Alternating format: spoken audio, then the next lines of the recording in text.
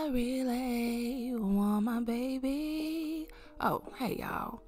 I was feeling so fresh and so clean, clean today, so I wanted to do a little cute all white fit. You like? Hmm. Yeah, you like. Another day of being a lady of leisure with a lifetime to go.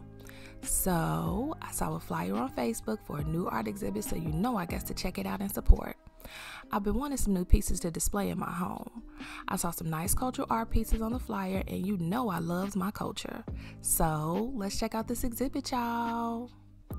Yo, I had to run in here after I parked because it's raining, y'all. And the way this kinky curly 20 inches set up, ain't nobody got time for it to revert back. Not after I spent almost an hour straightening it out.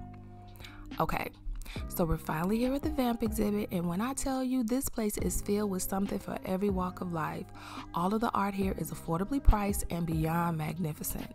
All of the art pieces are created by It's Vamp, and I am absolutely in love with everything here. Take a deep breath, Shy, and stay within the budget that you set. So, I've been taking time to do some shadow work on myself over the years. One of the hardest things for many people to do is to look in the mirror and admit that it was you. You were who was holding you back. You were who was keeping you in a box. You were who created the mess, and you are the only person who can fix it all. It's so freeing to come to terms with the part that I played in so many aspects of my life. It's always easy to lie the blame on others, but to admit to yourself that it was you and actively correct your wrongs is truly a different kind of growth. It's been years of being on this accountability journey, and it gets easier to recognize when I'm self sabotaging, but I still have times when it's not so easy. But as always, I prevail. Ooh, yes, bought, bought, and bought. My eyes are looking everywhere, y'all, because to be honest, I want it all, but y'all know my place way too small for all of these beautiful pieces. So, have you come to terms with the role you play in your life, the good and the bad, the highs and the lows? If not, I would recommend you do so. It's going to make your journey through this life easier when you can quickly check yourself and redirect yourself back onto the right path.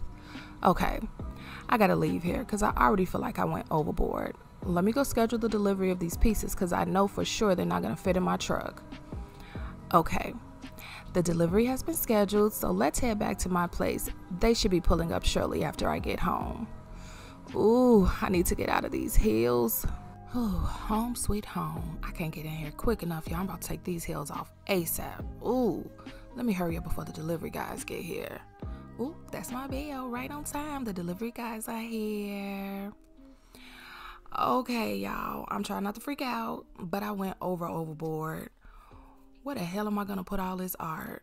Oh, I'm getting frustrated. No, shy, don't even do it. I'm about to run me some water and take a hot bath and relax and deal with where all this art is gonna go afterwards. Woosah. Y'all know what? I'm not even mad, because I couldn't leave these pieces. They were just too good.